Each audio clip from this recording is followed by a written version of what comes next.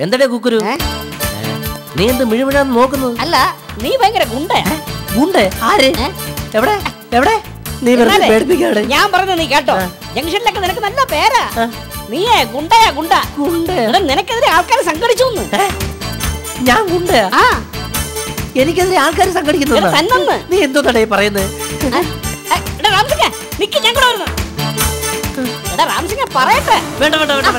ഒന്നും പറയണ്ട. എനിക്ക് തെളിയിക്കണം. ജനത്തിന്റെ മുന്നിൽ എനിക്ക് തെളിയിക്കണം? ഞാനൊരു ഗുണ്ട അല്ലെന്നുള്ള വിവരം പൊതുജനത്തിന്റെ മുഖത്ത് നോക്കി എനിക്ക് ഉറക്കെ വിളിച്ചു പറയണം. ചാടിക്കിറക്കിനെ വിളിച്ചു പറയരുത്. അതിനൊക്കെ ഒരു രീതി ഒന്നും പറയണ്ട.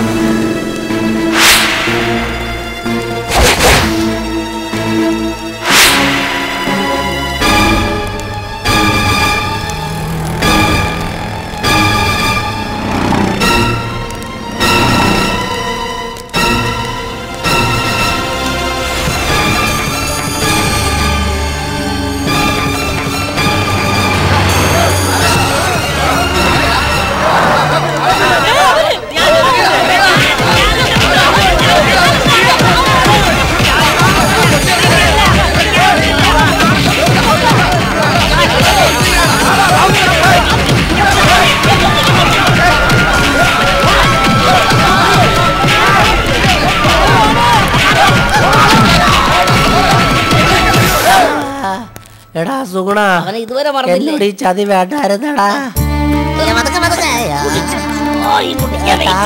അയ്യോ.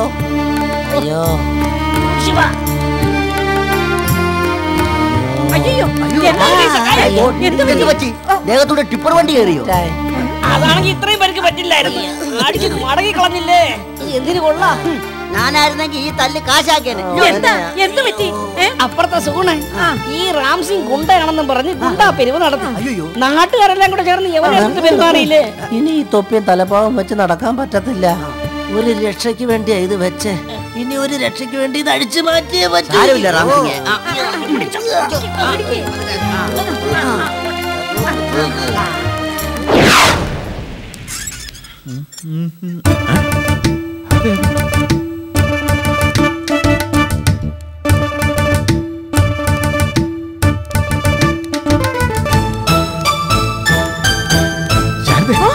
അപ്പുറത്ത് സാവിത്രി ചേച്ചിയുടെ വീട്ടിൽ ഏതോ ഒരു അപരിചിതനുണ്ട്. അയ്യോ ഏതോ പകൽക്കളനായിരിക്കും സാവിത്രി ചേച്ചി അവിടെ ഇല്ല.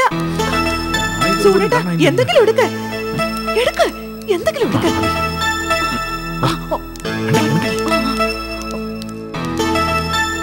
സൂരേട്ടാ എനിക്ക് പേടിയൊന്നും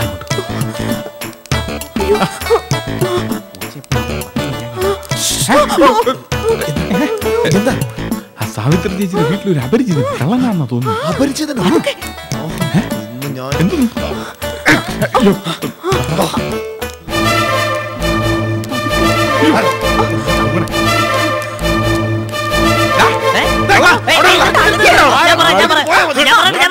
എന്നെ മനസ്സിലായില്ലേ മനസ്സിലായി മനസ്സിലായി ആരാണ് എന്നൊക്കെ മനസ്സിലായി അടിക്ക് റാം സിംഗ് അതെടാ. റാം സിംഗിന്റെ തലയിൽ ഒരു കൊച്ചുണ്ടായിരുന്നില്ലേ ഒരു മുഴ താടിയും മീശയൊക്കെ അതെ റാംസിംഗ് ആണ് എന്റെ തലയെക്കെട്ടും താടിയും വെച്ച് മുതലാക്കി എന്നെ ഗുണ്ടയാക്കാൻ നോക്കി പക്ഷേ ഗുണ്ടയാവാൻ എനിക്ക് മനസ്സില്ല. റാംസിംഗിന്റെ അതേ ശബ്ദം. അയ്യോ റാംസിംഗ് ഇത് മോശം കേട്ടാ. ആ തലപ്പാവും താടിയൊക്കെ വെച്ച് നമുക്ക് പത്ത് കാശുണ്ടാക്കായിരുന്നു. നോക്ക് ഗുണ്ടകൾക്ക് ഭയങ്കര മാർക്കറ്റാണ്. തീ വിലയാണ് തീ വില നീ ഒന്ന് നിന്ന് തന്നാ മതി. ഞാനൊരു ഗുണ്ടയായാലേ ആദ്യം തട്ടുന്ന നിന്നെ ആയിരിക്കും അതുകൊണ്ട് ദേ, ഞാൻ എല്ലാരോടും പറയാ ഈ റാം സിംഗ് ഒരു മലയാളിയാ മലയാളി. ഇതുവരെ ഒരു പഞ്ചാബി അന്തസനിക്കുണ്ടായിരുന്നു ഇപ്പൊ എന്തേ നിങ്ങളെ പോലെ തറയാ ഞാൻ. തറകൾ താണാ തറയൊക്കെ താഴ്. അതറിയാലോ? ഓർമ്മയിരിക്കട്ടെ ആ.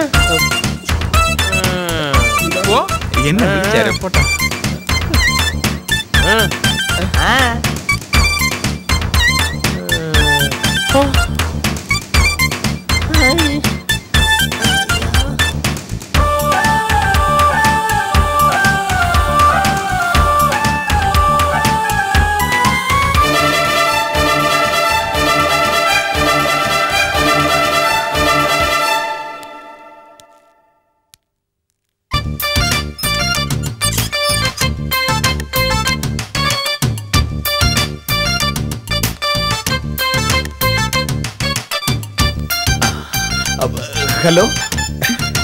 എന്താ? ഞാൻ കാത്തു നിൽക്കായിരുന്നു ആരെ? ഇയാളെ? അല്ലാതാരെ എന്നെ കാത്തു നിൽക്കുന്നോ? എന്തിനാ? ഒന്ന് കാണാൻ. എന്തിന്? ഞാനൊരു കാര്യം ചോദിച്ചാ ദേഷ്യം വരുമോ എന്താ? നമുക്ക് ഫ്രണ്ട്സ് ആവാം. എന്താകാവോന്ന്? ഫ്രണ്ട്സ് ഫ്രണ്ട്സ് ആകാമോന്ന്? ഈ വാലന്റൈൻസ് ഡേക്ക് കാർഡ് അയക്കാം ഗിഫ്റ്റ് അയക്കാം. മക്കളെ. ഫ്രണ്ട് എന്റെ പൊന്നു മക്കളെ. നമുക്ക് ഫ്രണ്ട്സ് ആവാം കൂടെ മക്കൾ പറ്റും. പോ പോ. നമുക്ക് ഫ്രണ്ട്സ് ആവാം. നമുക്ക് ഫ്രണ്ട്സ്. എടാ, പോവല്ലേ നിക്കേ. എടാ നമുക്ക് ഫ്രണ്ട്സ് ആവാന്ന്. എടാ അവിടെ നിക്കാൻ നമുക്ക് ഫ്രണ്ട്സ് ആവാന്ന്. എടാ കമ്മിങ് ഞാൻ എടാ ലെങ്തി ബോഡി എടാ നിക്കായി ഞാൻ റണ്ണിങ് എടാ നിക്കായി ഓയ് എടാ. ഗുരുതരമായ വിധത്തിൽ എന്ന വണ്ണം രാജ്യത്ത് ഭയങ്കര പോലെ ശല്യം. അത് ശരി. അപ്പൊ ലൈനിൽ ലൈനടിയുടെ എണ്ണം കൂടിയാണല്ലേ? ആ ആരെയാ ലൈൻ അടിക്കുന്നേ? ആ വീട്ടിലെ കുട്ടിയല്ലേ രമ്യ. അതിനെ ഇപ്പൊ വഴി നടക്കാൻ സമ്മതിക്കുന്നില്ല. ആഹാ. എന്നാലതൊന്ന് അറിയാമല്ലോ. ആരോടാ അവന്റെ കളി? പോലാ എഴുന്നേരാ എഴുന്നേക്കാൻ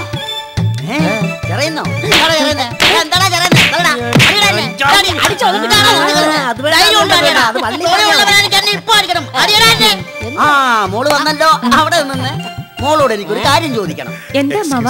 അല്ല മോളെ ആരാ മോളെ വഴിയിലൊക്കെ തടഞ്ഞു നിർത്തി ശല്യം ചെയ്യുന്നേ? ആരായാലും അത് അമ്മാവനോട് പറയണം. ഈ അമ്മാവൻ അവനെ കൊണ്ട് എന്നെ അടിപ്പിക്കും. എന്നിട്ട് അമ്മാവൻ അവന്റെ പത്ത് പത്തും ചെലവാക്കിക്കും മോളെ. പറ മോളെ പറ.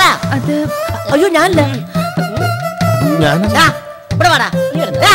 എന്താ? നീ എന്തോടാ? ഒട്ടക പക്ഷിയോ? മുഖം പൊത്തി പിടിച്ചോണ്ടിരിക്കാൻ ഏ? ഞാനെന്തിനു മുഖം പൊത്തി പിടിക്കണം അതെ ഒരു പ്രാവശ്യത്തേക്ക് പോട്ടെ മാവ ഇനി ആവർത്തിച്ച ഞാൻ അമ്മാവനോട് പറയാം. മതി. എന്നിട്ട് വേണം എനിക്ക് ഒന്ന് രണ്ട് വിവരം അവനോട് അങ്ങോട്ട് അറിയിക്കാൻ. ആ പൂവാലിനോട്. ആ മോൾ പോയാട്ടെ. പോയാട്ടെ. ആ പോ ദാ, ഏ? എന്തുവാടാ നോക്കിയിരിക്കുന്നേ? എന്തുവാടാ നിന്റെ കയ്യിൽ കയ്യിൽ ടേബിൾ ടൈം ടേബിൾ. ആ പോടാ പെട്ടി. ഓ. പോടാ പെട്ടി. ആ നീ എന്തോട് ആ എടുത്തോ. ഓ ഞാൻ പോയി പത്രം വായിക്കാം. വായന വായന പുതിയ വാർത്തകൾ ഇനിയും കൊണ്ടുവരാം. പ്രേമനമ്മാവ് വന്നിട്ടും ഈ നമ്പ്യാരമ്മാവനെ ഒന്നും ചെയ്യാൻ പറ്റുന്നില്ലല്ലോ. ഭജനം കഴിഞ്ഞ് ഇന്ന് രാത്രി എത്തും. ഇന്ന് രാത്രി ഉണ്ടെങ്കിലും അങ്ങനെ ഓടിക്കണം. എന്താ വിശ്വേട്ടനൊന്നും മിണ്ടാത്തേ? എല്ലാം നീ തന്നെ പറഞ്ഞുകൊണ്ടിരിക്കല്ലേ?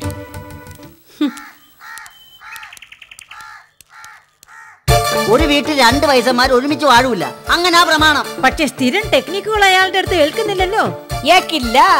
നിങ്ങളുടെ ഈ സ്ഥിരം നമ്പർ ഒന്നും തേക്കില്ല നല്ല പുതിയ നമ്പറുകൾ അങ്ങോട്ട് ദേ പോയിട്ടുണ്ട് നോക്ക്. അവരെ ഇവിടുന്ന് ഓടിച്ചില്ലെങ്കിൽ അവസാനം നിങ്ങൾ ഇറങ്ങി പോകേണ്ടി വരും. ഞാൻ വെല്ലുവിളിക്കാണ്. അടിക്കടാ. അടിക്കടാ. മാറി നിക്ക്. ദേ അമ്മാവാ പകുതി ആവേശമെങ്കിലും ആ അങ്ങനോട് കാണിക്ക്. നമ്പിയാരമ്മോരോട് എന്തോ? അത് ശരി. എന്റെ ആവേശം ഇളക്കി വിട്ട് നിങ്ങൾ മുതലെടുക്കാൻ പോവായിരിക്കും നടക്കാൻ പോകുന്നില്ല പിള്ളേ.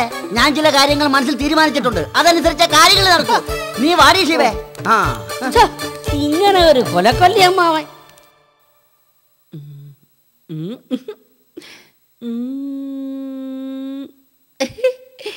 അയ്യോ എന്താ നോക്കുന്നേ? അന്ന് ഞാൻ പറഞ്ഞില്ലേ ഷാരൂഖ് ഖാൻ ഹിന്ദി നടൻ അതുപോലെ തന്നുണ്ട്. തലയെ കുറച്ച് മുടിയും കൂടെ ഉണ്ടായിരുന്നെങ്കിൽ ദേ ഷാരൂഖ് ഖാൻ എങ്ങോട്ട് പോയെന്ന് ചോദിക്കണ്ട. സത്യം ചേട്ടാ. കള്ള ചിരിക്കുന്ന കണ്ടില്ലേ? ചില പരുക്കന്മാർ ഇങ്ങനെ തേങ്ങാ പോലെ എന്ന് വെച്ചാൽ പുറം ചിരട്ട പോലെ കട്ടി കടുകട്ടി. അതിനകത്തോ ലോകത്തിലെ ഏറ്റവും മധുരമുള്ള നീരുറവ ഇളനീര്. അല്ലിയാമ്പൽ കടവിലന്നരയ്ക്കൂ വെള്ളം. അന്നു നമ്മളൊന്നായി തുഴഞ്ഞില്ലേ കരിക്കിൻ വെള്ളം. നമ്മുടെ നെഞ്ചിലാകെ അനുരാഗ കരിക്കിൻ വെള്ളം. കണ്ട? അങ്ങനെ കരിക്കിൻ വെള്ളം മൊത്തം ശേഖരിച്ച് വെച്ചിരിക്കുക അതെ നിനക്ക് എന്തോ ആവശ്യമുണ്ടല്ലോ? മാലയാണോ അതോ വളയാണോ? ഏ? ആണുങ്ങളല്ല ഇങ്ങനെ? ഭാര്യമാർ സ്നേഹത്തിൽ എന്തെങ്കിലും രണ്ടു വാക്ക് പറഞ്ഞ ഉടൻ സംശയമാണ് അതിനല്ലേ ഇതിനല്ലേ മറ്റേതിനല്ലേ മറിച്ചേതിനല്ലേ? അതെ പോട്ടെ? ഞാനൊന്ന് തെറ്റിദ്ധരിച്ചതാ. നമുക്ക് നേരത്തെ പറഞ്ഞ സംഭാഷണം തുടരാം. പിന്നെ ടൈം ടേബിൾ നോക്കി പറയാനുള്ളതല്ലേ ഇതുപോലുള്ള സംഭാഷണങ്ങൾ ഞാൻ കുറ്റം പറയല്ല. വിശ്വേട്ടൻ കുറച്ചുകൂടെ ഫ്ലെക്സിബിൾ ആവണം. ആ എന്ന് വെച്ചാ ഞാനൊന്ന് ആ, ഈ മസിൽ പിടുത്തം ഒന്ന് വിടണം. അത് തന്നെ. അപ്പുറത്തെ യൂടി. ആ ലീലാവതി പറഞ്ഞ എന്തും അനുസരിക്കല്ലേ ലത ചേച്ചി പറഞ്ഞതാ നാളെ മുതൽ എക്സസൈസ് തുടങ്ങാൻ പോവാണെന്ന്. എന്താ? ഏ അപ്പുറത്തെ നരേന്ദ്രൻ നാളെ മുതൽ എക്സസൈസ് തുടങ്ങാൻ പോവാണെന്ന്. എന്തിന്? എന്തിന്? ജാട കാണിക്കാൻ ഇതൊക്കെ പറഞ്ഞുകൊണ്ടിരിക്കാൻ പറ്റുമോ ഓ ചേട്ടാ. എക്സസൈസോ. എന്തെങ്കിലും. റാംസിംഗ് നോക്ക് ഈ സ്ഥലത്ത് ഏറ്റവും നല്ല കാർ തന്നെ വേണം സജിച്ച് കൊണ്ടുപോകാൻ. ഒരു കാർ എടുത്തുകൊണ്ട് പോകാൻ വേണ്ടിയുള്ള ശക്തി ചേച്ചി കൊണ്ടോ റാംസിംഗെ അസ്ഥാനത്ത് ഒരു തമാശ പറയല്ലേ? നോക്ക് എതിർ വീട്ടുകാർക്കെതിരെ നമ്മൾ ഒന്നിച്ച് നിൽക്കണം. എന്നാലും ജയിക്കാൻ പറ്റൂ. അല്ല അവരും ഒന്നിച്ച് നിന്നാലോ? ചേട്ടാ ഞാൻ നാളെ ഒരു കാറ് നോക്കാൻ പോവാണ്. നല്ല അടിപൊളി കാറ് ഈ പരിസരത്തുള്ള ഏറ്റവും നല്ല കാറ് ഈ പത്മകുമാറിന്റെ ചേച്ചിയുടെ കാറായിരിക്കും. അറിയാമോ എന്താ റാംസിംഗെ? മോശമല്ലേ? പത്ത് പേര് അറിയട്ടെന്ന്. എന്നാലേ ഒരു ആന്തോളനം ഉണ്ടാവത്തുള്ളൂ. നല്ല അടിപൊളി കാർ ഒരെണ്ണം ഉണ്ട്. അടിപൊളി കാർ പൊളിയാത്തതുണ്ടെങ്കിൽ മതി കേട്ടാ. ദേ ഇയാൾ കുറെ നേരിട്ട് കാണാൻ വർത്താനം പറയണേ. എന്റെ സ്വഭാവം മാറ്റരുത്. രമേശ് നോക്ക്. കാർ നല്ല കണ്ടീഷൻ കാർ ആയിരിക്കും അപ്പുറത്തെ നരേന്ദ്ര സാറിന്റെ വീട്ടിലെടുത്ത കാറിന്റെ അവസ്ഥ അറിയാലോ? ഇപ്പോഴും അത് വർക്ക്ഷോപ്പില്ല അത് കാറിന്റെ കുഴപ്പമല്ല. ഓടിച്ച ആളിന്റെയാ. മുഖം കൊള്ളൂലെന്ന് കരുതി കണ്ണാടി ഉടച്ചിട്ട് കാര്യമൊന്നുമില്ല. സാറിന് കാറ് വേണം. ഞാൻ ഏറ്റു. പക്ഷേ കാശ് ഇത്തിരി കൂടുതൽ വേണം. കാശ് എത്ര കൂടിയാലും ചേച്ചി അറേഞ്ച് ചെയ്തോളൂ. എങ്കിൽ ഞാൻ കാറിന്റെ കാര്യം ഏറ്റു. ആ.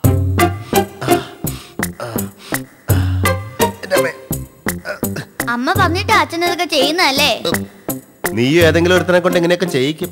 എന്താ? ഒന്നുമില്ല.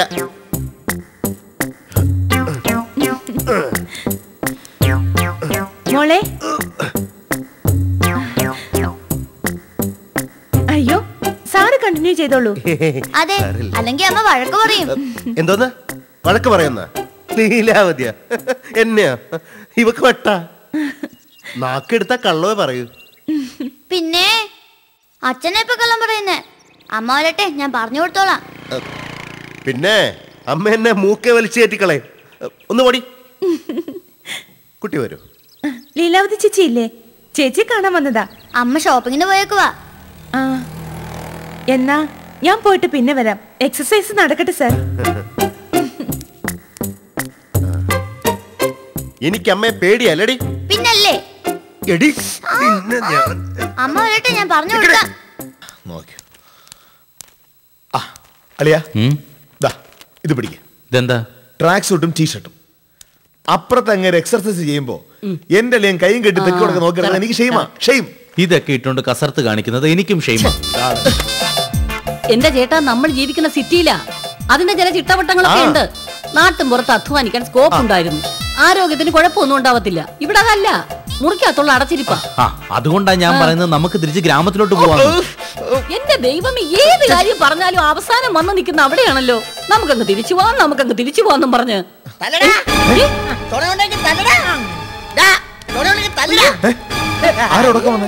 ഉടക്കൊന്നുമല്ല സാധകം സാധകം. ഇതിങ്ങനെ നമ്മൾ പ്രാക്ടീസ് ചെയ്യണം. വീട്ടിലായിരിക്കുമ്പോ കാലത്ത് മൂന്ന് മണിക്ക് എണീറ്റ്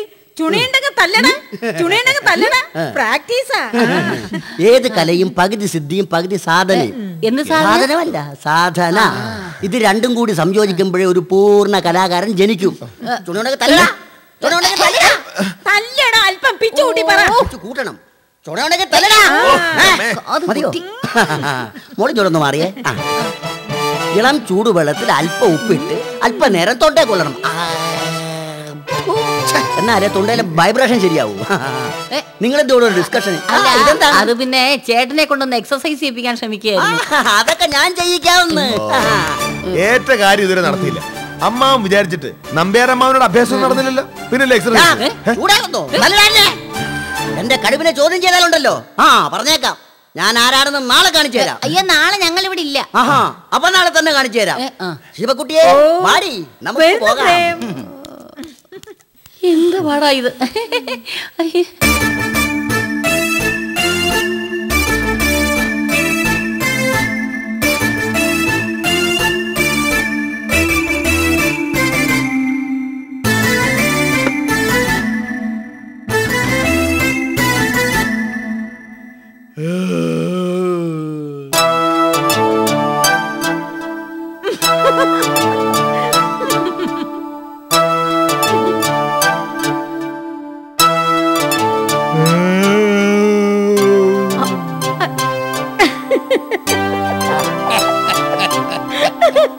ഊണ് കഴിച്ച് തുടങ്ങിയതല്ലേ ഉള്ളൂ. അതിനിടയ്ക്ക് വയറ് നിറഞ്ഞ. എത്രയും പെട്ടെന്ന് തന്നെ ഇവിടുന്ന് മാറി തന്നാൽ ചിലർക്കൊക്കെ കൊള്ളാം. ആനന്ദം പറഞ്ഞ് വലിഞ്ഞു കയറി വന്നവൻ വർത്താനം പറയാതെ ഇവിടെ നിന്ന് ഇറങ്ങിത്തരണം.